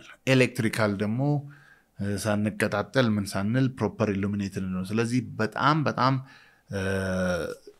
የ team effort የሚፈልግ ስራ ነው። concept ኡ የሚጀምረው from architect's creation አጠገቡ ባሉት parameters ተጠቅሞ client ኡ በሚፈልገው መጀመሪያ client ኡ አርኪቴክቱን ነው የሚያነጋግረው። ከዛ በኋላ አርኪቴክቱ ደግሞ አንዳንድ እንዴት ነው structure ኡ የሚቆምልኝ ይላል። የ structural input ይወስዳል። ውሃ reservoir generator የቱ ጋር ላርግ ፓምፕ የቱ ጋር ላርግ ይሄ ሁሉ expert ይገባና አንድ አይነት concept የሚሰራ workable concept prepare ይደረጋል። ከዛ በኋላ የ design stages several stages አሉ። ብዙ ጊዜ ሶስት ናቸው። concept ይባላል። እና አጠራራቸው ይለያያል በየሀገሩ። የ AIA American Institute of ብዙ አሜሪካ ነገር የሚጠቀሙበት schematic design design development እና construction documents የሚባል ሶስት stage ኦች አሉ RIBA Royal Institute of British Architects የሚጠቀሙባቸው stage one two three four የሚባሉ አሉ። ተመሳሳይ ናቸው። እኛ ሀገርም concept schematic design ይባላል preliminary design ይባላል final design ይባላል። እነሱ ሶስቱ process ኦች ናቸው። የ schematic ቅድም እንዳልኩት concept ነው። ከዛ ትንሽ ደግሞ more detailed የሆነ ወደ preliminary design ያኔ የ level of cost ደግሞ ይገባበታል። how much is cost የሚባለው final ስንሄድ ደግሞ እያንዳንዱን nuts bolts detail አድርገን ለ construction የምናስረክብበት ነው። ከዛ በኋላ contractor ወስዶ የእኛን drawing በዚች የምታየት drawing site ላይ quality ውን እየጠበቀ dimension ኑን እየጠበቀ drawing ላይ የታለመለትን እውን ያደርገዋል ማለት ነው። long process but መጀመሪያ ላይ የነበረውና መጨረሻ ላይ ያለው most satisfying procedures that's what እኛን እኔን እዚህ ኢንዱስትሪ ውስጥ እንድቀጥል የምናደርገው መጨረሻ ላይ ያለው የ product ኡን satisfaction ነው። ይህን ብዙ ጊዜ የሚያጋጥመን ያው እንጋጫለን ከ contractor ጋር አፍርስ ይሄ ትክክል አይደለም በንትኑ አላረግ ብለን late ሆንክ ብለን ደብዳቤ እንጽፍበታለን warning እንጽፍበታል እሱን ሁሉ አልፎ የ inauguration ጊዜ ያ ሁሉ ጭንቅ ይረሳና እንኳን ደስ አላችሁ የሚል congratulations እየተቃቀፍን ስራችንን እንኮራበታለን ማለት ነው። most satisfying industries out there በጣም የሚገርም ነው። በዚህ process ውስጥ I ብዙ አካላት አሉ የሚሳተፉ ያው ከእቃ አቅራቢ ጀምሮ ከሲሚንቶ አቅራቢ ያለ አሸዋ አቅራቢ ያለ በጣም አትራፊ የትኛው ብዝነስ ነው? ልትገባ ነው እንዴ? አትራፊ ምን well eventually ሁሉም አትራፊ ካልሆነ ሁሉም አትራፊ ካልሆነ ፕሮጀክቱ successful አይደለም። ይሄ politically correct የሆነ መልስ እሺ if you can የመሐመድና ኢግል ሄልስን አንስተናል maybe ሌሎች ፕሮጀክቶች ላይ እንደ ምሳሌ አንስተ process ኡን የምናወራው ካለ በጣም አንተ closest my heart ነው የምትለው ፕሮጀክት አንድ ፕሮጀክት ብናይ ደስ ይለኛል እኔ መጀመሪያ ልጀምር አሜሪካን ሀገር ባለ ልጀምር እንግዲህ I think ብዙ detail አልገባበትም ግን አንድ ከአርሊንግተን office ቅድም እንደነገር በውሰት ወደ ቦስተን office move ሲያደረጉኝ አንድ ትልቅ ቦስተን የሚሰራ ፕሮጀክት ነበር። it's called Big Dig Big Dig ይባላል። 14 ቢሊዮን ዶላር ትልቅ I-93 የሚባል highway አለ። 1920s ውስጥ የተሰራ መሀል ለመሀል ቦስተንን ያቋርጥ ነበረ እና the result ቦስተንን ለሁለት ከፈላት በ highway ዋናው ፕሮጀክት እሱን tunnel እሱን bridge or viaduct tunnel ውስጥ መክተት ነበረ እሱ ላይ ተሳተፍኩኝ. tunnel design ውስጥ ገባን bridge ሰራን. ventilation ነው tunnel ኡ ደግሞ ventilated መደረግ ነበረበት.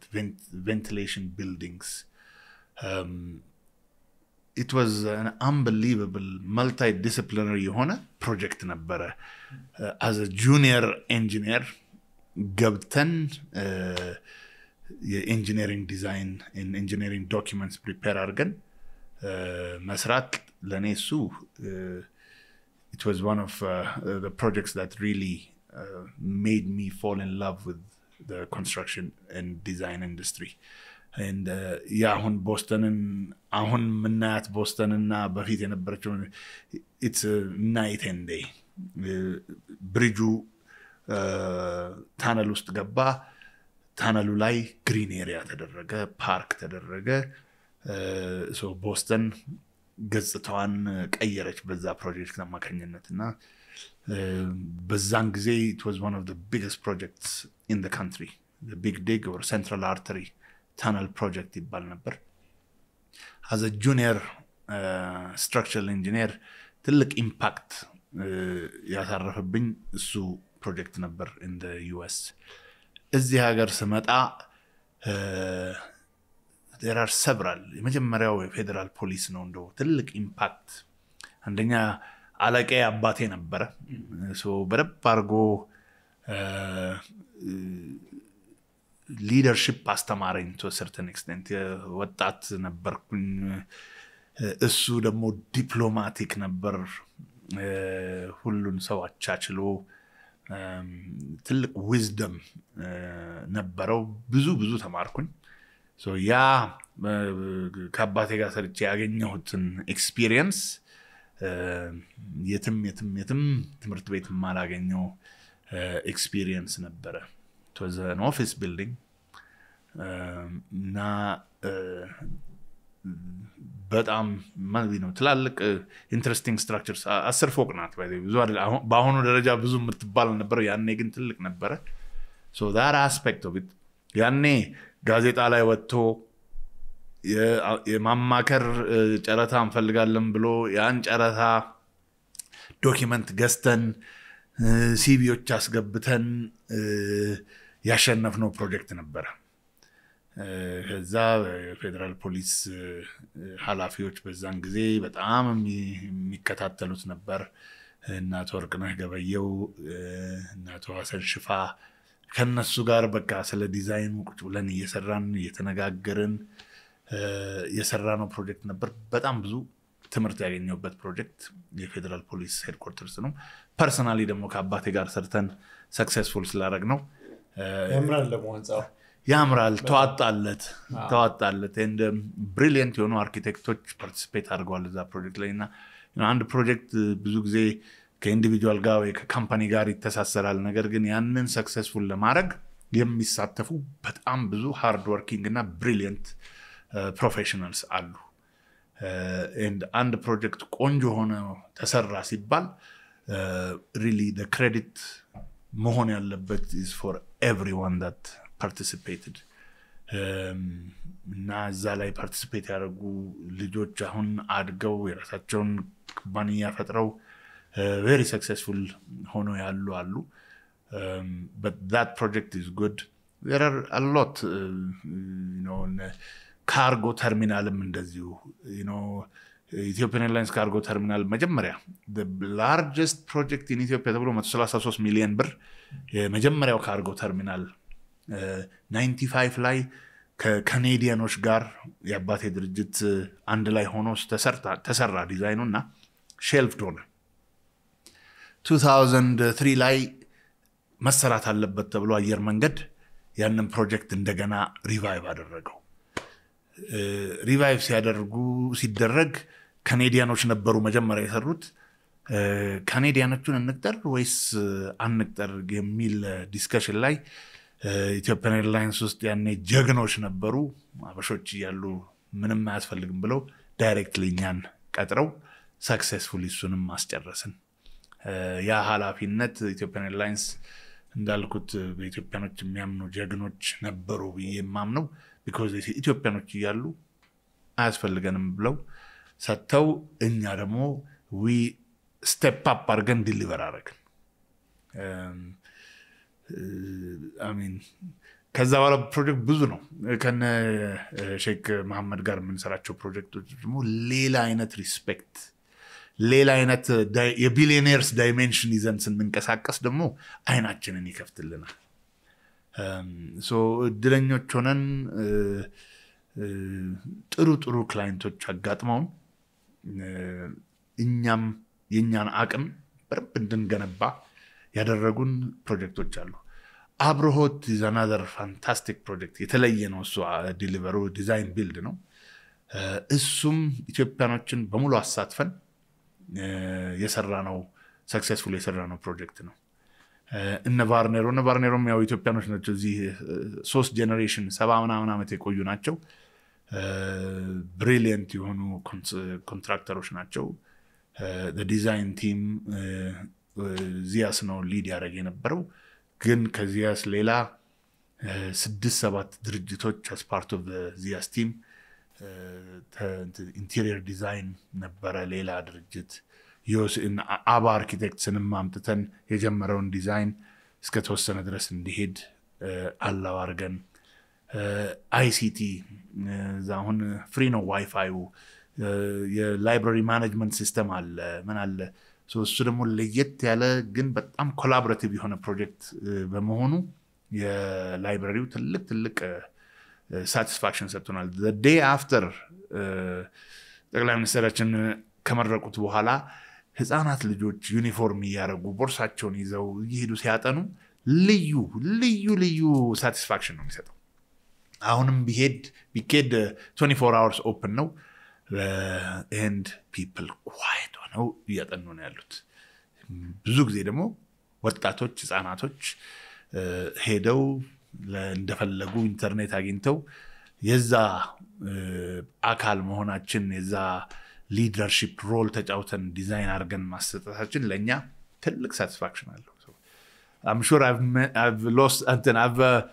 የረሳቸው ብዙ ፕሮጀክቶች አሉ። ግን over 24 years በጣም fascinating ፕሮጀክቶች ያጋጥመውናል. እና the result የእኛም አቅም በዛ experience ነው ያደገው። እየጨመረ ይሄዳል። እንደውም ከሶስት በላይ ነው የጠየቅ ሶስት ነው የጠየቅ ነው ሶስት አስር ብጠይቀኝ ጊዜ ነው እንጂ የሌለ ብዙ አሁን ነው እድሉን አግኝቼ ብዙ አርክቴክት ሰዎች ጋር አወራለሁ እና እንትኑ በጣም ኢንትረስቲንግ የሆነ የዲዛይንም የአርክቴክትም ስራ ብዙ ጊዜ በጣም research አለው። አሁን ስለ ለአንድ ኢንዱስትሪ የሚገነቡ ከሆነ ያንን ኢንዱስትሪ ገብተው አጥንተው አንብበው ያንን ኢንዱስትሪ መስለው ነው ገና ወደ ዲዛይን የሚገቡት እና quite fascinating ብዙ ጊዜ ሳያቸው በጣም ብዙ research አለው። ገና ብዙ ድሮ ማስበው ነገር ቀጥታ ገብተው okay ምንድን ነው የምፈልገው ምናምን? ይኸው ክፍሎቹ። ግን አሁን I don't ወይ ቡና ካልን ቡናውን end to end አጥንተው ምንድነው ይሄ ሰውዬ የሚፈልገው ምንድነው ምን አይነት ሰራተኞች አሉት? የታኬ ይመላለሳሉ የሚለው እና በጣም አሁን ነው ያንን እያወቅኩ የመጣሁት። እንትኖች ዲዛይን ብቻ ሳይሆን ሪሰርቸርም ናቸው። ምንም ጥያቄ የለውም። built environment አይደለ? ህንፃ ሲሰራ ውስጡ ለማን ነው የምንሰራው የሚለውን research ያስፈልጋል። የኛ ኢንዱስትሪ ለየት ይላል እዚህ ሀገር። maybe even other developing countries እንደዛ ሊሆኑ ይችላሉ። ውጭ ሀገር specialization አለ። አፓርትመንት የሚሰራ ኩባንያ አፓርትመንት ላይ focus አድርጎ ስለ አፓርትመንት ከሀ እስከ ፐ ያውቃል ያ research አያስፈልገው የቡና ማበጠሪያ ስላለኝ ብትለው አልችልም ሌላ ሰው ፈልግ አፓርትመንት ከፈለግ ሰራልሃለሁ ይልሃል። እኛ ሀገር ግን አንድ ስራ ሲመጣ specialize የማድረግ ገና የስራ ስፋት የለንም። ይምጣ ሲባል እሺ ብለን እንዳልከው ቡና ማበጠሪያ ወረኛ ብዙ የሰራ ነው ሌላ በኢንዱስትሪ ዙሪያ የቤቨሬጅስ ፋክትሪ የሞሃን የሞሃ ከሳሜት አንስቶ ኤቭሪ የሞሃ ለስላሳ ፋብሪካ እኛ ሰርተናል. እሱን ለመስራት አንድ ፔፕሲ እንዴት አድርጎ ከ concentrate ኡ bottled ሆኖ እስኪመጣ የሰውን movement የ machinery ን layout understand ማድረግ አለብን። design functional የሆነ ዲዛይን ለመስራት cargo terminal is specialized field not every architecture firm can do cargo terminal እኛ ከ Canadian ኖች ጋር ሰራን። ከዛ ላ ቅድም እንዳልኩ ጀግኖች Ethiopian Airlines ትሰሩታላችሁ ብለው ሰጡን። not only እሱን research አድርገን ሰራን። ሁለተኛውን ደግሞ ስንሰራ አሁን largest አሁን Ethiopian Airlines በኮቪድ ጊዜ ትልቅ ትልቅ ለ Ethiopian Airlines አለመውደቅ አስተዋጽኦ ያበረከተው የ cargo operation ኑ ነው። እሱን ዲዛይን አርገን successful implement ያደረግነው በ research እና ጣልቃ ውስጥ ገብተን ቅድም ልክ እንዳልከው cargo terminal ምንድን ነው ምን አይነት ሰው ያስፈልገዋል? ያ ሰው እስከ አንድ ቦታ ወደ ሌላ ቦታ እንዴት ነው የሚንቀሳቀሰው? ልብሱን ቀይሮ ነው የሚመጣው? ሲመጣ በኋላ ብዙ የ loaders ምናምን ስላለ shower provide ማድረግ አለብህ። እሱን ሁሉ አጥንተህ ለሱ የሚሆን የ space layout prepare አድርገህ ነው በ concept ደረጃ የምትነሳው። ስለዚህ researcher ደግነቱ ጉግል መጥቷል። አሁን ጉግል እያልክ ብዙ research ታደርጋለህ። በፊት ግን ለ research በጣም መጽሐፍ ታነባለህ ውጭ መጽሐፍ አምጣልኝ ትላለህ። ምን ትላለህ? በዛ አሁን research ቹ ቀሏል። ግን absolutely ትክክል ነህ። ያለ research የምትሰራው ነገር in architecture የለም። የእንትኑስ ምንድን ነው ቅድም ስለ customer ብዙ አውርተናል ግን የ customer ኡ interest እና ደግሞ የ professional standard አንዳንዴ አይጋጭም አያስቸግራችሁም? ይጋጫል ያስቸግረናል ለጠየቀው ዳረግ አዎ ምክንያቱም cost አለዋ። international standard ላምጣ ስትል cost አለው። client ኡ ደግሞ ለምን? የሜሪ ፖድካስት ያለበት ህንፃ አለ ወይ? ይሄ sprinkler system ወደ እናንተ benchmark ኡን ያያል ማለት ነው እሱ ራሱን correct ያደርጋል obviously nobody wants to spend ማንም መክፈል ከሚገባው በላይ መክፈል አይፈልግም ግን international standard ፈልጋለሁ luxury ፈልጋለሁ ሲባል አብሮ የሚመጣ ከ luxury ጋር price tag አለ። እሱ ቀስ ብሎ እንትን ይላል ይስተካከላል። የሚስተካከለው ደግሞ ባለቤቱ በጎ ፍቃድ አይደለም። ዘረፊው ባለቤቶች እኔ የኢትዮጵያ ኮድ ይሁን አይኑር ግድ የለም ስታንዳርዱን ጠብቅልኝ የሚል client አለ። ሌላ enforce የምናደርግበት ደግሞ code ኡን Ethiopian code building code standard አሁን ወደ European norms ሄደናል። አሁን ያለን ኮድ በሙሉ ES EN ነው የሚባለው Ethiopian standard European norms። በዛ ሄደን ግንባታ ፍቃድ እስከ መከልከል ድረስ በዛ ስታንዳርድ ካልተሰራ ግንባታ ፍቃድ እስከ መከልከል ድረስ በዲዛይኑ ደግሞ ካልተሰራ certificate of occupancy እስከ መከልከል ድረስ ከተሄደ ሁሉ ሰው developer ወደደም ጠላም በስታንዳርዱ ይሰራል ማለት ነው። አሁን እንደውም recently እንትን ነበረ ፓርላማ ላይ የቀረበ ህግ አለ። ጥራት ያልጠበቀ ስራ ከተሰራ አማካሪውም ሁሉም ጠቅልሎ license ጠቅልሎ የማሰር እስከ ማሰር ድረስ ያለ አለ። እሱ እሱ ባለቤቱንም ያን ግጭት በተወሰነ መልኩ ይቀንሰዋል ብዬ ነው። ምክንያቱም ህግ አለ፣ በህጉ መሰረት መሰራት አለበት ስለሚባል ያው ቅድም መጀመሪያ ላይ ስናወራ intro ላይ የተለያየ ሀገር አፍሪካ ሀገራት እንደምትሰሩ ነግረን ነበር እና አንዱ መጠየቅ የምፈልገው ነገር ከኛ ሀገር አንጻር እንዴት ይመስላል አንዱ ጥያቄ። ሌላው ደግሞ አንድ አዲስ ሀገር ስትገቡ ለምሳሌ አንዳንድ ሀገር ሰርታችሁም ላታውቁ ትችላላችሁና ምን ይመስላል? እንዴት ነው ስራውን የምትጀምሩት? ጥሩ ጥያቄ ነው። actually good question። እኛ የገባንበት አገር በጣም ደስ ብሎኝ የማገኘው ነገር እኛ ሀገር ለካ ጥሩ ነን፣ መጥፎ አይደለንም። ከሌላው ሀገር ስንነጻጽር አንተናነስም የሚል ትልቅ ኩራት ይሰማኛል። እዛ ደርሼ ስመጣ እኛ የትም ብንሄድ የትም ሞዛምቢክ፣ ማፑቶ ሄድን፣ ዳካር ሄድን፣ ዱዋላ ያውንዴ ሄድን፣ ሞንሮቪያ ሄድን። ስራውን የምንሰራው አብዛኛውን ስራ የምንሰራው እዚህ እዚህ ባሉ አርኪቴክቶችና መሐንዲሶች ነን። የእኛ ስራ እዛ የሚከበር እንጂ ከአፍሪካ የመጣ ነው እየተባለ የሚንቋሸሽ ስራ አይደለም። በዛ በጣም በጣም የምኮራበት እንደ ኢትዮጵያዊ የሚያኮራኝ ችሎታ ይዘናል ማለት ነው ብዬ ስለማስብ ነው። አዲስ እዛ ስንገባ ቅድም እንዳልኩ አብዛኛው በ US government ፕሮጀክቶች ነው የምንሄደው። በባለቤት በኩል ምንም ችግር የሌለብን ሁኔታ ነው የሚፈጠረው። እዛ ስንሄድ ግን እዛ ደግሞ እዛ ያሉ expert ኦች የእኛ team እናደርጋቸዋለን። ምክንያቱም የትም ብትሄድ የትም የፈለግከው ጎበዝ ብትሆን እንደ አገሩ ልትሆን አትችልም። የአገሩን ሁኔታ ካላወቅ ግራ የሚገባ ሁኔታ ይፈጠራል። ስለዚህ everywhere የሄድንበት አገር እዛ ያለ የ architecture እና የ engineering firm የእኛ team አድርገን ነው የምንሄደው። እዛ የ firm ትፈልጋላችሁ ማለት ነው። ማን አለ እዛ ሀገር ላይ ጥሩ የሚሰራ ብላችሁ መጀመሪያ research ታደርጋላችሁ። ወይ already ለ US ኤምባሲ የሰራ ሰው እስቲ ይህን አነጋግሩት እንላለን፣ ወይ ጉግል እናደርጋለን። እንደዛ እንደዛ interview አድርገን አንድ partner እንፈጥራለን። ከዛን ground ኡ ላይ እነሱ ያግዟቸዋል እነሱ permitting እነሱ ያግዙናል።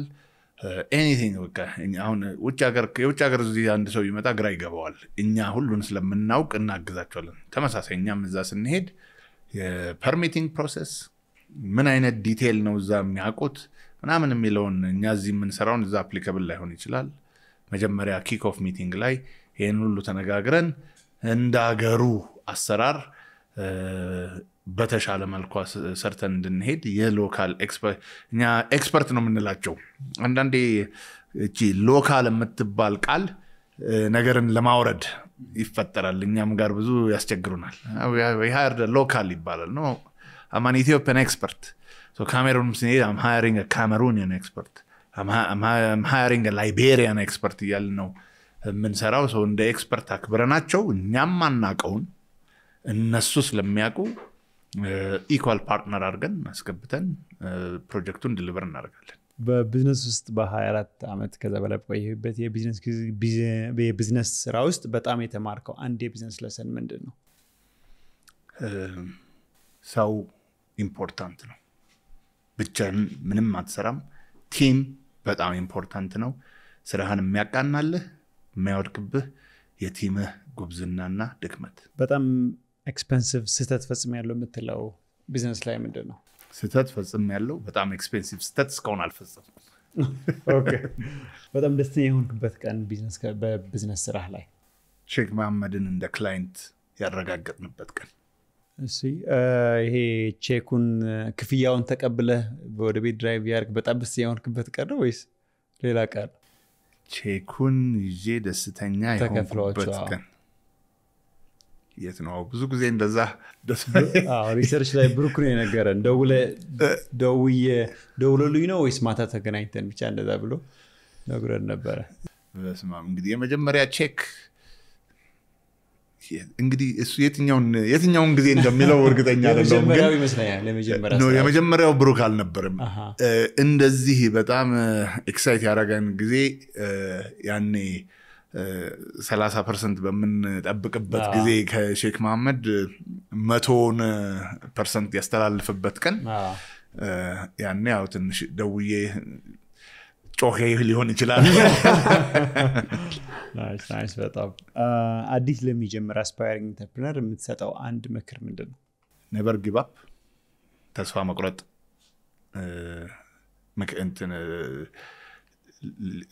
ሊደረግም ሊታሰብበትም የሌለበት ነገር ነው። ችግር ያጋጥማል።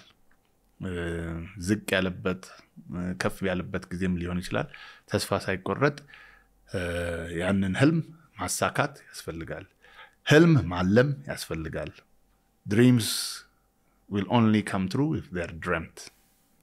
So, እ፣ ህልሙ ከፍ ያለ ይሁን፣ ተስፋ ለመቁረጥ እንደ ethics ን